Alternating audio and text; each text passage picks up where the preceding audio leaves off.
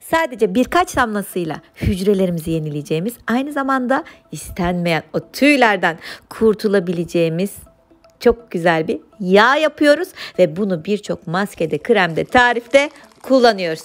Limon kabukları lazım. Şöyle kaynar suyu bir kaba alın. İki tane limon lazım bunun için. Ve limonun sadece kabuklarını kullanacağım. Sıcak su bir tarafa da soğuk su aldım. Önce limonu sıcak suyun içerisine atıyorum arkadaşlar ve üzerine karbonat ilave ediyorum. Her bir limon için bir tatlı kaşığı karbonat ilave ettim.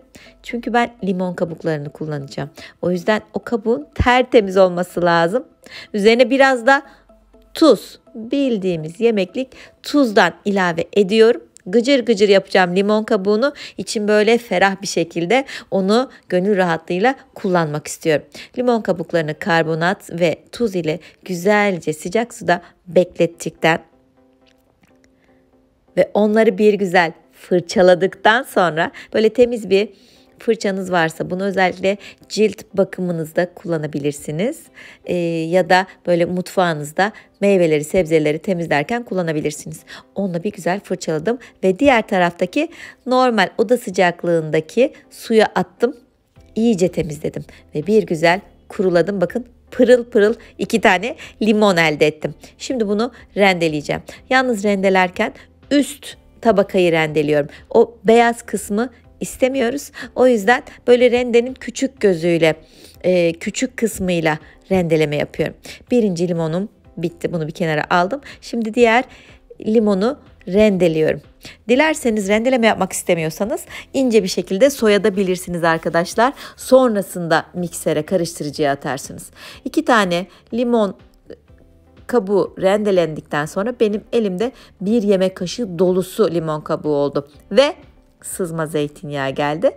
Ee, çok fazla kullanmayacağım çünkü fiyatlar çok pahalı. o yüzden yarım fincan, yarım fincan sızma zeytinyağı tenceremin tavamın içerisine aldım. Ocağın altını yaktım ama kısık ateşte pişirmeyeceğim. Şimdi limon kabuğunu ilave ettim ama pişirmiyorum arkadaşlar. Biliyorum eğer o ısıyla çok fazla temas ederse C vitamini uçup gidecek. Biz bunu istemiyoruz. Özünü versin istiyoruz. Limon kabuğuyla zeytinyağı birleşip özünü versin istiyoruz. Böyle 3 dakika kısık ateşte bekletiyorum. Fokurdamasın baştan söylüyorum. O güzel vitamini göndermek istemeyiz. Sonra bakın el e, değdiğinde artık yakmıyor. Beklettim.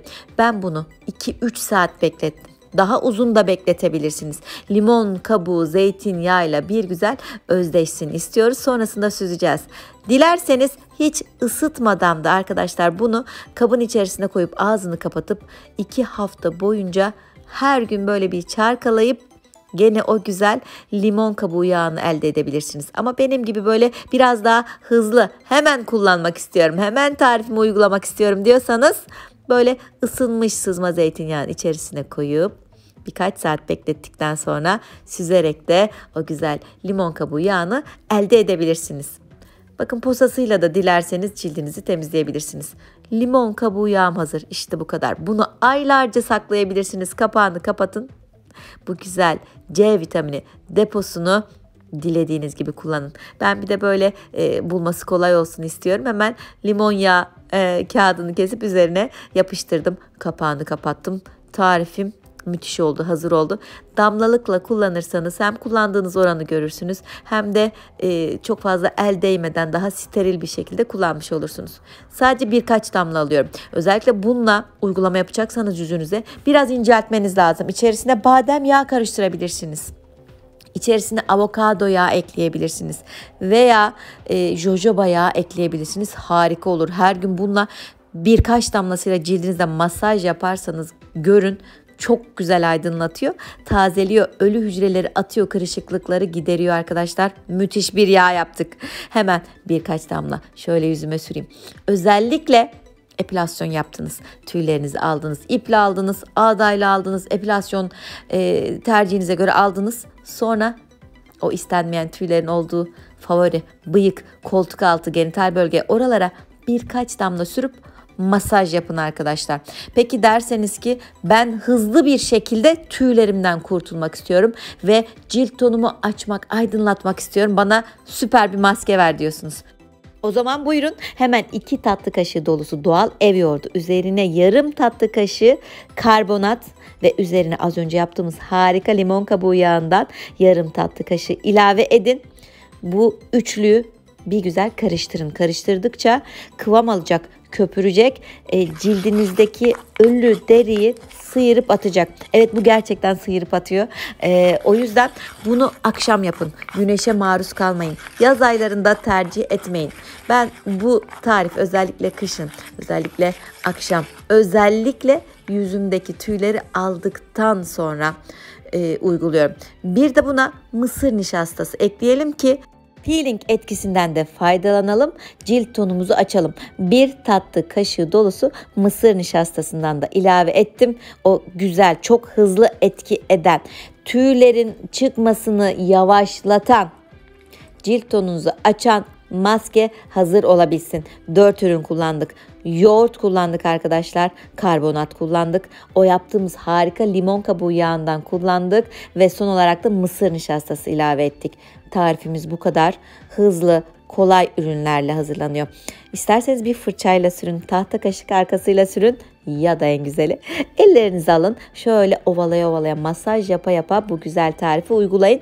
Bence bu tarif en güzel parmaklarla sürülüyor. Çünkü istenmeyen tüylerin olduğu alanlara direkt uygulama yapabilirsiniz.